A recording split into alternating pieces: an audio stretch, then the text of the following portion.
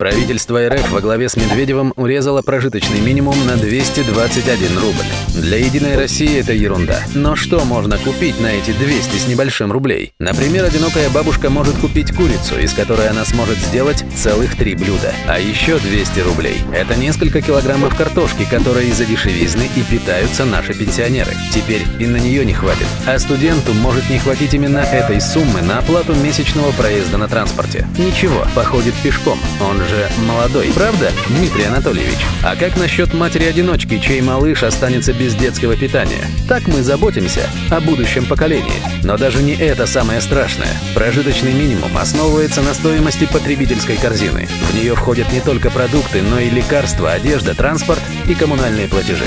Как прожить на 9452 рубля? 3-4 тысячи уйдут на оплату коммуналки. До тысячи на оплату транспорта и мобильного телефона. На еду, одежду, лекарства и другие необходимые вещи останется 4452 рубля.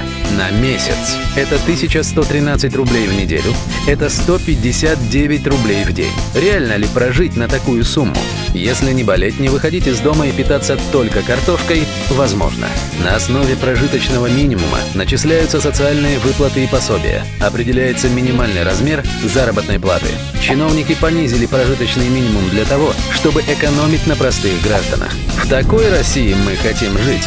Партия КПРФ предложила закон, который заставит государство помогать людям, оказавшимся за чертой бедности из-за кризиса. Хочешь улучшить уровень жизни в стране? Сделай это.